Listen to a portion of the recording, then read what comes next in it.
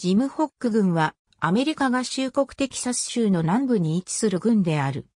2010年国勢調査での人口は5300人であり、2000年の5281人から0.4%増加した。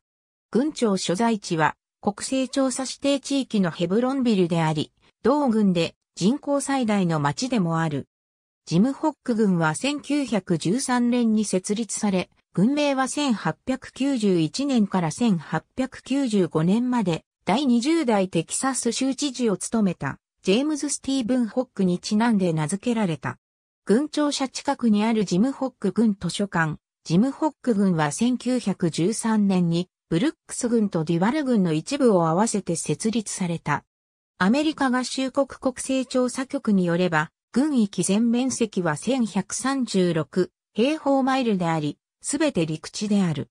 ジムホック郡堺の標識ヘブロンビルにある、保安官事務所ヘブロンビルにある南テキサス職業、安定所以下は2000年の国勢調査による人口統計データである。ジムホック郡は昔から民主党の固い地盤である。1913年に軍が設立されてから、すべての大統領選挙で民主党候補を選んできた。州内では隣接するブルックス軍のみが同じ歴史を持っている。少なくとも1992年以降の民主党大統領候補は一貫して65%以上の得票率だった。2004年の大統領選挙では現職のジョージ・ W・ ブッシュではなく民主党候補のマサチューセッツ州選出の上院議員ジョン・ケリーを選んで、ことでは州内で数少ない軍の一つだった。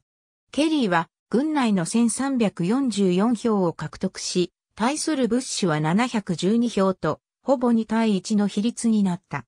1981年から1988年、ジム・ホック軍の地区検事は、ラレド出身の著名な法廷弁護士、フリオエ・ガルシアだった。当時の管轄範囲は、ウェブ軍、リミット軍、ザパタ軍及びジム・ホック軍だった。ジム・ホック軍には法人化された町がない。ジムホック軍の教育は、ジムホック軍独立教育学区が管轄している。小中高等学校各一つの学校があり、すべてヘブロンビルの中にある。ありがとうございます。